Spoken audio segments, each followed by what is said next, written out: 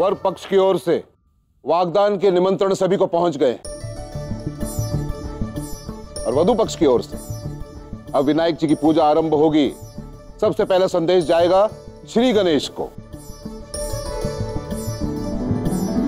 और ये पूजा राधा के हाथों संपन्न होगी।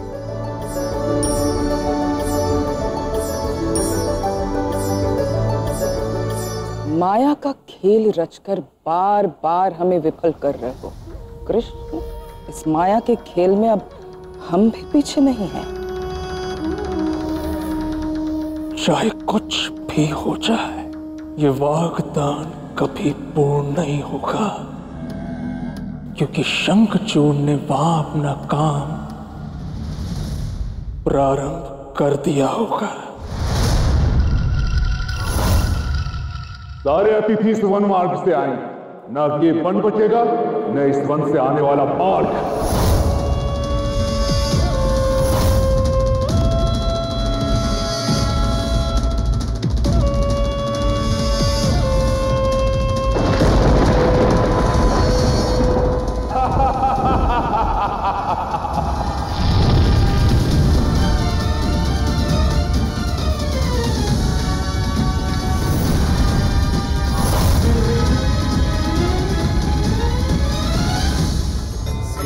Hari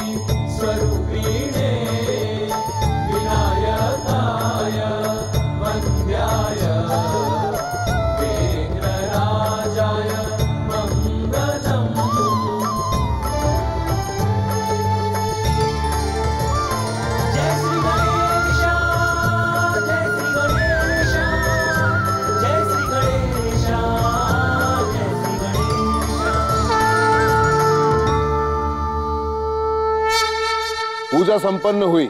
आज सूर्यास्त से पूर्व और अतिथि गणों के आने के पश्चात राधा और कृष्ण का वागदान होगा।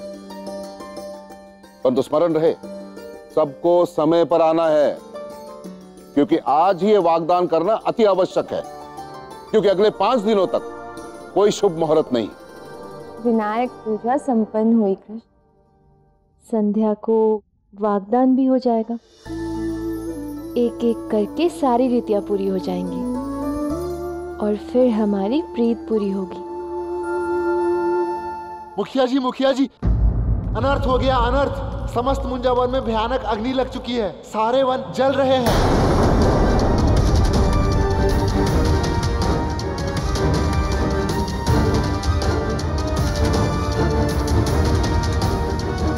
हे नारायण इस समय मुंजावन में सारी गैया चरने गई होंगी। केवल गैया ही क्यों? पौधे प्राणी सभी तो है वहाँ पे। और और विवाह में आने वाले सारे अतिथि वहीं से तो होके आ रहे हैं ना? कहीं सभी अतिथि अग्नि में न अटक गए हों। हे नारायण विवाह के पूर्व इतना भीषण अग्निदा ये तो बहुत ही बड़ा अपशकुन जटिला उचित कह रही है।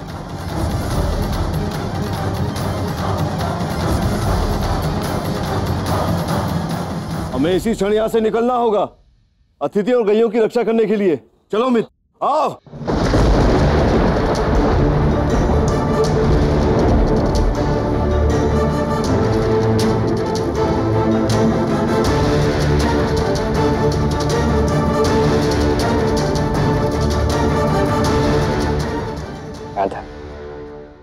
चिंता की कोई बात नहीं है। सब ठीक हो जाएगा। मैं हूँ। और नारायण भी।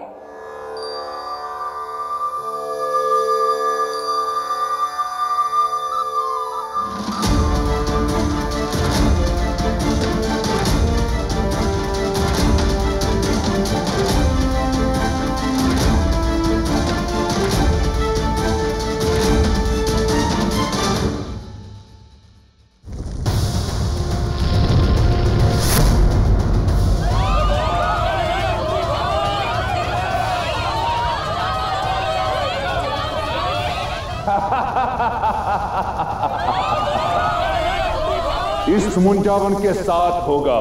उस कृष्ण राधा के विवाह के स्वप्न का अंत।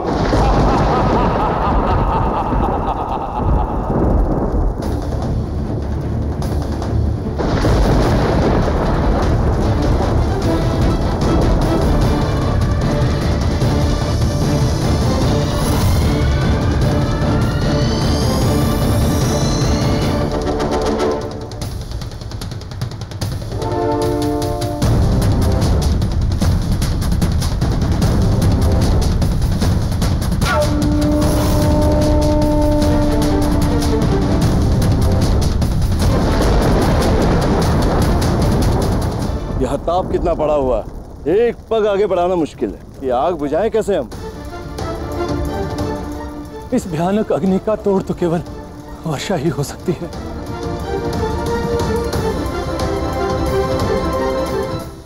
इस अग्नि में केवल ये मन नहीं मुझे तो कृष्ण और राधा का विवाह भी भस्म होता दिखाई दे रहा है।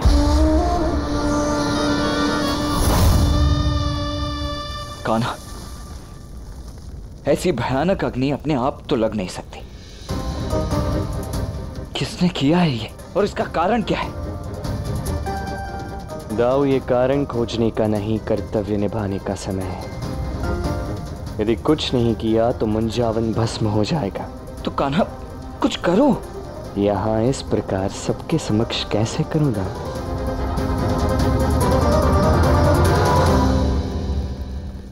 अब इस संकट से हमारी केवल नारायण ही रक्षा कर सकते हैं।